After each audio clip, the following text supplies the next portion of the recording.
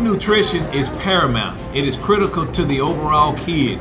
And here at Clarksville ISD, we try to teach the entire child.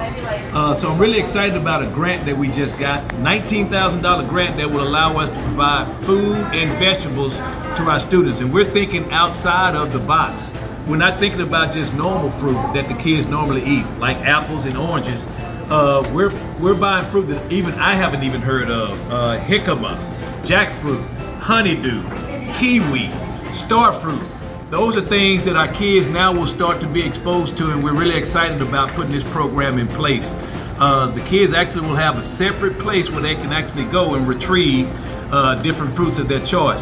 So I'm so excited for our kids at Clarksville and I'm so excited for the opportunities that await them. This is the fruit and vegetable station that the kids actually will be utilizing.